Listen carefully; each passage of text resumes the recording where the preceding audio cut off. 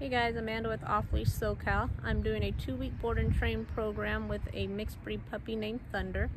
Thunder comes to us with typical puppy behaviors, leash pulling, little knowledge of commands, jumping to greet, being easily distracted, and he has some separation anxiety. Over the two weeks, Thunder will be working on his off leash obedience and manners. Go ahead and check out his transformation.